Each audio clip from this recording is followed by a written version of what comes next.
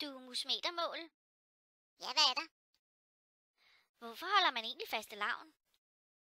Jamen, det kan jeg godt fortælle dig. Det er jo faktisk en tradition, som er mange, mange hundrede år gammel. I gamle dage så den lidt anderledes ud, end den gør i dag. Det startede med, at man festede i en hel uge. Det vil sige, det var de voksne, der festede i en hel uge.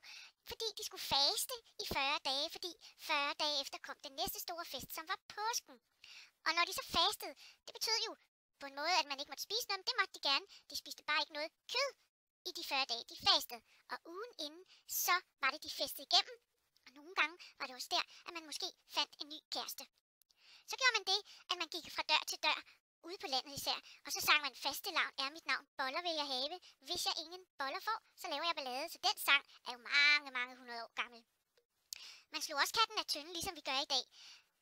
Og når nogen havde slået bunden ud, ligesom i dag, så blev de kattekonge.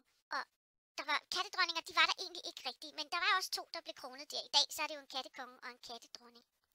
Og i gamle dage, der puttede man katte ind i tynden. Og det gjorde man, fordi man synes katte de var nogle onde nogen. Og jeg synes måske også, de er lidt onde, når de sådan gerne vil spise mus. Men så kom de ind i tynden, og det var mest de sorte katte, fordi man troede, at sorte katte bragte ulykke. Men det var jo rigtig synd for kattene, så det begyndte man at lade være med. Og så lavede man i stedet sådan nogle papkatte, man kan klippe ud og proppe på tynden alligevel. Og så lavede man også faste lavnsris.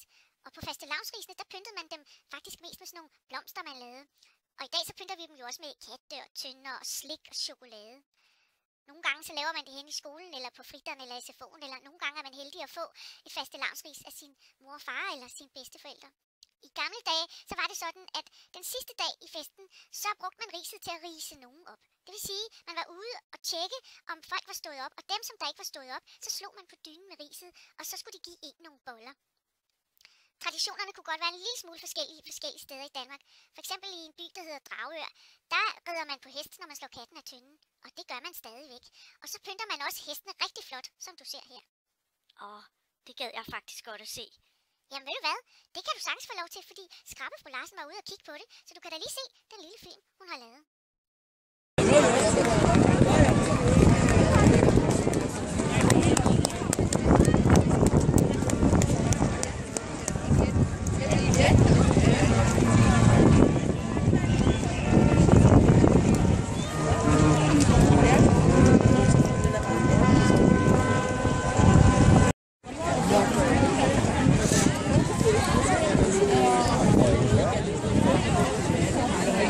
Ja,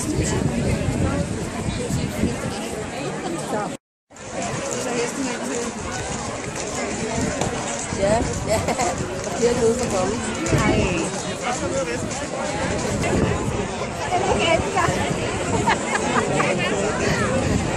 Åh,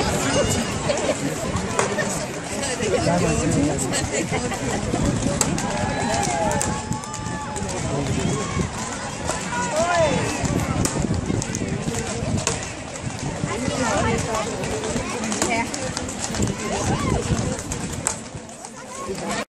så da rigtig sjovt ud. Er det noget, børnene også må prøve? Nej, det er altså kun for de voksne. Og der rider de også rundt i byen Dragør i mange timer, inden de går ned, hvor de rider hen og slår katten af tynden. Og så får de også lidt mad og drikke alle de der steder. Nå, men det er vel også okay, at det ikke er alting, at børn må være med til. Det synes jeg faktisk også. Og det er jo sjovt at kigge på. Ja, det er det. Nå, men øh, nu vil jeg videre. Og til dig, der kigger med derude. Tak fordi du kigger med. Det er så hyggeligt, når du kigger forbi. Og du må rigtig gerne give et like. Det vil vi blive rigtig glade for. Vi ses snart igen. Hej hej.